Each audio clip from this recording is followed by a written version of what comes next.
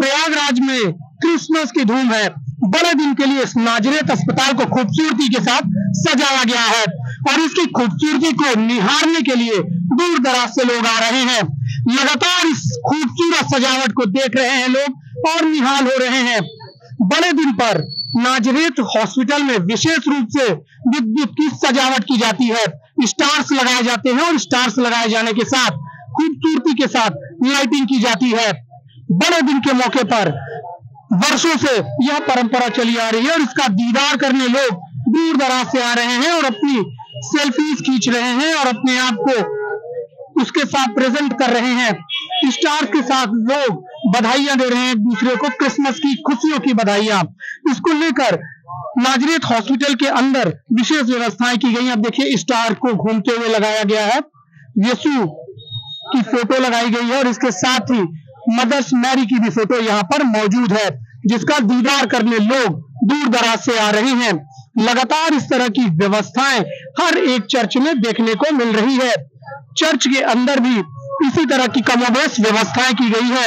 आप देख सकते हैं, खूबसूरती के साथ हॉस्पिटल को सजाया गया है और पूरे जगह स्टार्स लगाए गए हैं। क्योंकि स्टार्स से ही इस पूरी खूबसूरती को सजाया गया है और पोस्टर्स भी लगाए गए हैं। मैरी क्रिसमस और इस खूबसूरती का दीदार करने लोग देखिए दूर दराज से आ रहे हैं और अपनी आँखों में इसे कैद कर रहे हैं। क्योंकि आज ठंड कम है इस वजह से लोग अपने बच्चों को भी लेकर यहाँ पर आए हैं और लगातार इस खूबसूरती का दीदार करने आए हैं। आप भी खूब खूबसूरती देखने आई हैं? जी हाँ। क्या कहेंगे?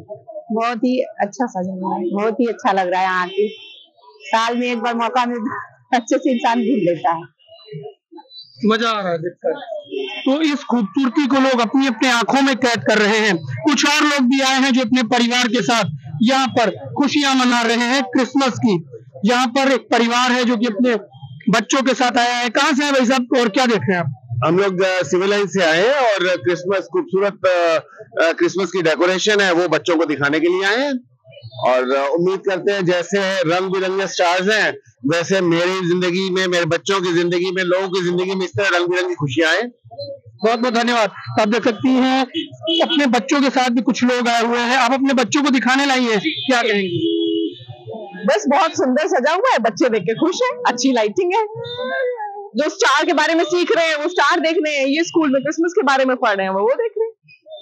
बस थैंक यू क्या कहेंगी लोगों से क्रिसमस पर मेरी क्रिसमस और एंजॉय करें छुट्टियाँ एंजॉय करें सर्दियाँ एंजॉय करें। थैंक यू हाँ, तो आप देख सकते हैं सर्दियों को यहाँ पर लोग एंजॉय कर रहे हैं क्रिसमस को एंजॉय कर रहे हैं। लगातार भीड़ बढ़ती जा रही है क्योंकि रात को 12 बजे चर्च में प्रार्थना सभाएँ होंगी उसके बाद यहाँ पर सेंट जोसेफ कॉलेज में जो विशेष रूप से मेला लगाया गया है वो मेला तीन दिनों के लिए खुलेगा और लोग उसमें खुशियों में डूब जाएँगे। आलोक मालवी भारत 24 प्रयागराज।